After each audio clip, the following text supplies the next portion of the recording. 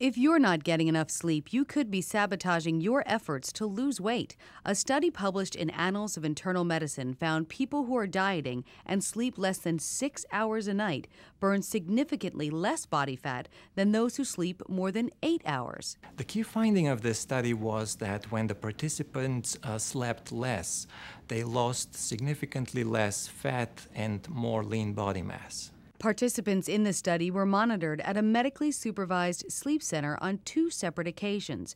During one part of the study, they slept five and a half hours a night. On the other, they slept eight and a half hours a night.